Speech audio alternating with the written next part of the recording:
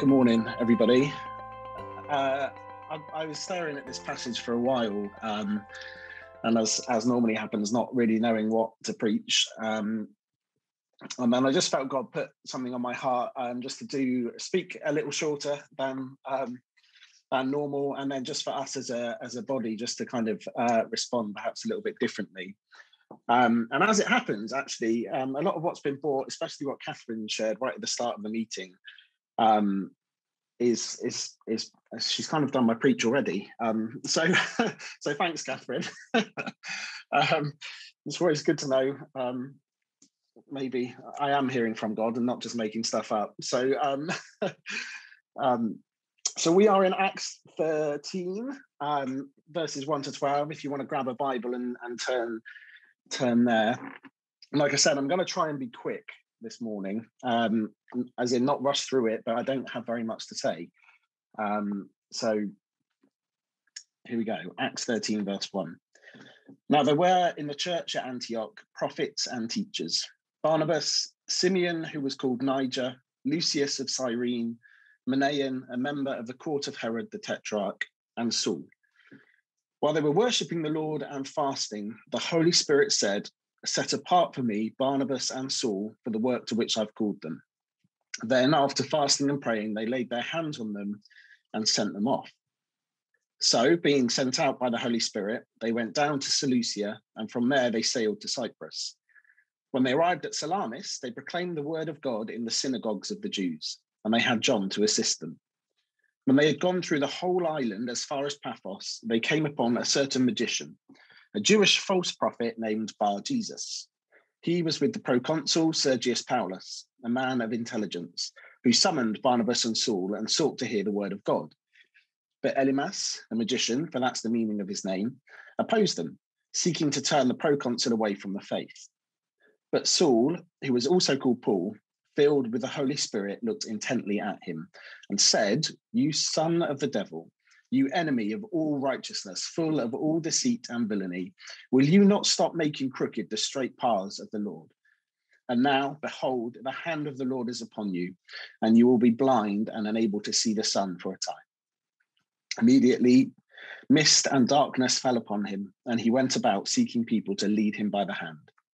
Then the proconsul believed when he saw what had occurred, for he was astonished at the teaching of the Lord so the, the kind of verse I really want to focus on is verse verse two. Um, so, you know, the Holy Spirit said, "Do this," and Saul and Barnabas, as we see, are sent sent out by the Holy Spirit. The presence of God is their guide. He's the one they listen to and follow. They hear Him speak, and they respond in faith. Um, and as I said, I, I, felt like I was staring at this passage for a long time, not knowing what to say. And I was reading John Mark Comer um, has written three short little ebooks, like 15, 20 minute reads um, that you can get for free. And I was reading the first, uh, the first of these three books that he, he'd written during the pandemic, and he was talking about Exodus 13, um, about how God he doesn't give Israel a map and a schedule when he leads them out from Egypt. He actually gives them his presence as a guide, right? So he had they camp ar- around the, a pillar of of uh, cloud by day and a pillar of fire by night, and only when that pillar moves do the Israelites follow the leading of God. Um, so Katie and I had the privilege of of going to Sri Lanka uh, for Christmas and New Year a couple of uh, well six years ago now, maybe I think it was. Um, and so we had we had a few weeks there. We had a, the first week kind of traveling around the country, um, and and you know what we could have done is we could have got our phones or the little you know uh, Lonely Planet Sri Lanka books that we bought and and made a, a, schedule and a map of all the places you wanted to go and how long it would take to get to each one and and uh, and went, fit in as much as we could um, during the time that we were there and but what we ended up doing was having a was having a guide, um, a driver.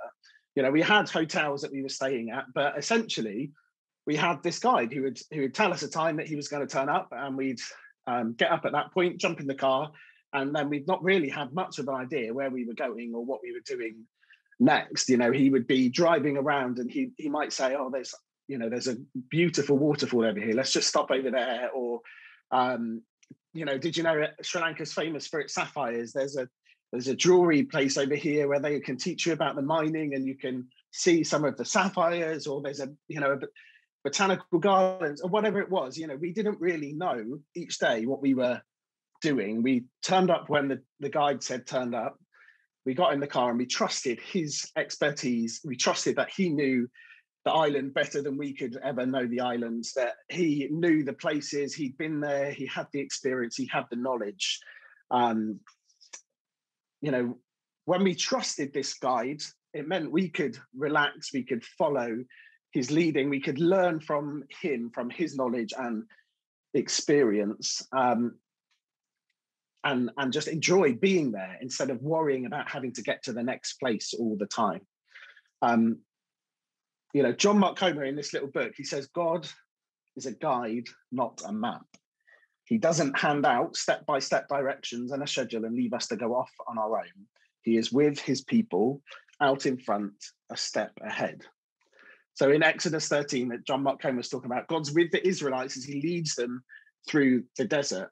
In this bit here in Acts 13, God is with Saul and Barnabas as he leads them to Cyprus and, and beyond you know, and God is with us too by his Holy Spirit. He wants to guide us, he wants us to trust him, to enjoy his company, to learn from him, and to follow him, to turn up when he tells us to turn up and let him lead us where he will.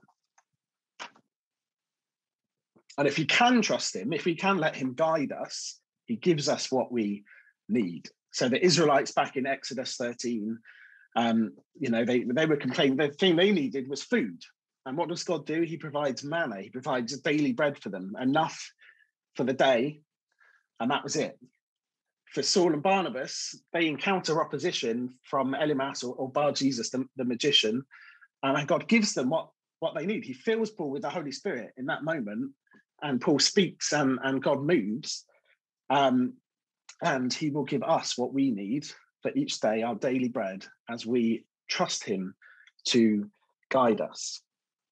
You know, so we um, obviously this last year have been living through um, living through COVID. You know, we it's something we've not encountered before. It's um, something that's new to every single one of us, um, and you know, the, the reality is that we don't know the way ahead. We haven't known the way ahead for quite a long time. We can make plans and schedules, but as we've seen even over this last week or so, they often don't go as as planned. Um, and as well as a, you know, as a church, we've been talking a lot about about this prophetic word of being or walking into a new era, of being a way we've not not been before, um, seeing something we've not seen before.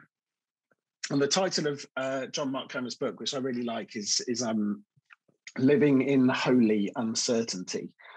Um, and I think that that is the journey for us, is learning to live in holy uncertainty. That's what Barnabas and Saul were doing. They didn't know the map, the schedule, they didn't know where they would end up, but God spoke and they followed and they trusted him to provide what they would need for whatever happened next.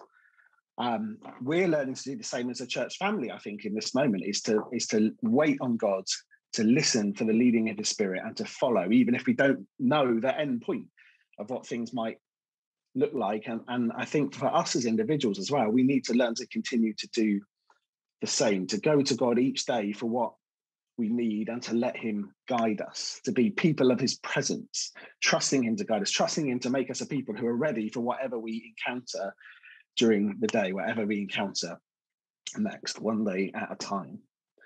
Um, how?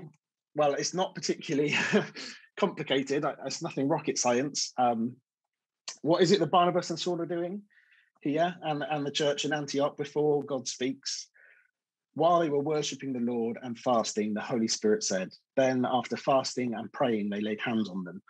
You know, it, they fasted, they prayed, they worshipped.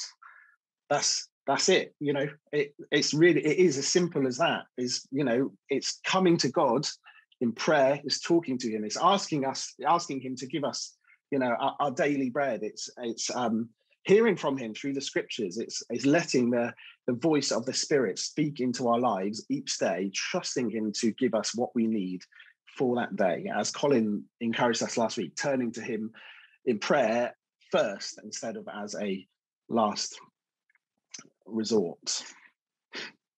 And that actually is all I've got written down. and what I wanted to do, what I wanted to do now um, was actually just let God speak to us, and well, perhaps more importantly, to to try and help us listen, um, or to have some moments of listening. Um, and so, we've already seen this morning. I can see people on my screen um, who have prophetic gifts, and I think probably we're already hearing some of some of what God wants to speak to us about this morning. But I just, firstly, I just want to invite people if they, if any of you are feeling like God is speaking about something that you're just hearing God saying, right, we need to respond in this way, we need to do that. I just want to invite you guys just to jump in and, and speak at any point. Um, but otherwise, what I'd love us to do is to um, to go into breakout rooms and to prophesy over one another, and just like let's let's put it into practice. Let's as we gather together as a as a as a body, as a people, as a family, let's go in. Let's go into breakout rooms. Let's prophesy over one another. Um, if you don't feel like you've you've heard anything from God, we can just bless one another. We can encourage one another in prayer. We can, you know, I know not everybody loves breakout rooms, but we can sit there in silence and we can receive and pray in silence. That's okay as well. But I'd really love us just to be bold for a few minutes, to take some risks, to be willing to to get things wrong, um, but mostly just to listen to the voice of the Spirit and to prophesy over one another, if that's okay.